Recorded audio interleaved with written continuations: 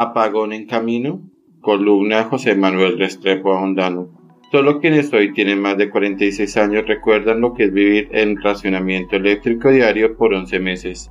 No olvidamos, por ejemplo, el origen de programas radiales como La Luciérnaga, o que tuvimos que adelantar los relojes una hora para usar más la luz del sol, o que madrugamos más, o que muchos compraron plantas eléctricas, o que esto les significa un importante costo a la economía colombiana. Como sucede en casos como este, la historia pasa y las razones se desvanecen. Entre las causas de lo sucedido se cuenta en un sistema eléctrico 100% estatal y con criterios políticos y no técnicos, pocos incentivos para el desarrollo de proyectos de inversiones eléctricas, un sistema que drenaba recursos fiscales del Estado, una intensa sequía por el fenómeno del niño y un sistema tarifario que dependía de la política.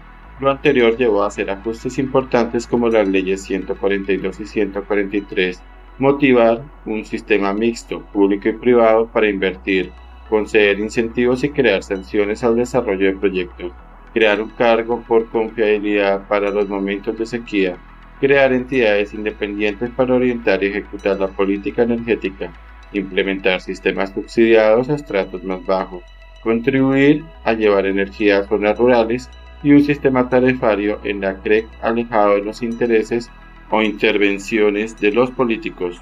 Los resultados nos hicieron esperar. Colombia logra una cobertura energética al 96% en zonas rurales y urbanas. Contamos con una tarifa por debajo del promedio de Latinoamérica y al incorporar subsidios una tarifa mucho más competitiva en la región buenas inversiones de largo plazo en el sistema y la nación en América Latina con una de las mejores relaciones tarifa-confiabilidad con únicamente dos años de apagón, cuando la mayoría tiene más de siete años con dichos hechos.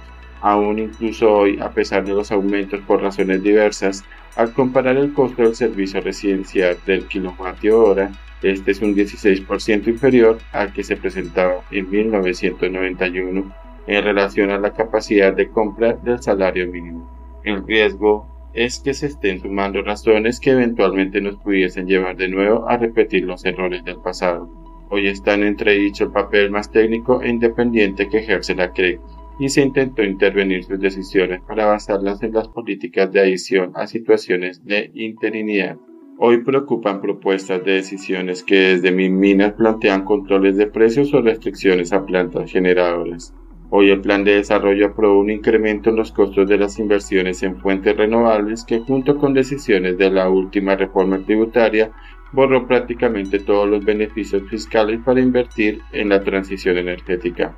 Hoy los proyectos de transmisión, así como las inversiones de energías no convencionales, adolecen retrasos por licenciamientos o intervención de las comunidades.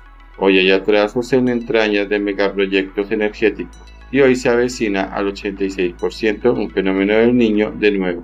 Aprendamos del pasado y no repitamos lo mismo sucedido.